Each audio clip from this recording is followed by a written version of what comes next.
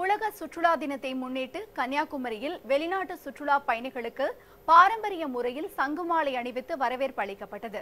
தமிழகத்தில் உள்ள சுற்றுலா தலங்களில் முக்கிய இடமாக விளங்குவது முக்கடல் சங்கமிக்கும் கன்னியாகுமரி என்பதால் இங்கு உள்நாடு மட்டுமின்றி வெளிநாட்டு சுற்றுலா பயணிகளும் அதிக அளவில் வந்து செல்கின்றனர்.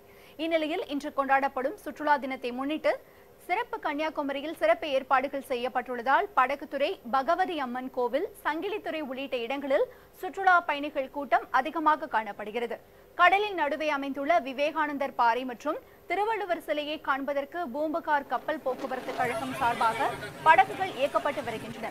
விவேகானந்தர் நினைவு மண்டபத்திற்கு சென்று திரும்பிய வெளிநாட்டு சுற்றுலா பயணிகளுக்கு சுற்றுலாத்துறையினர் இனிப்புகள் வழங்கியும் பாரம்பரிய முறையில் சங்குமாலை அணிவித்தும் வரவேற்பு அளித்ததால் பயணிகள் மகிழ்ச்சியடைந்தனர்.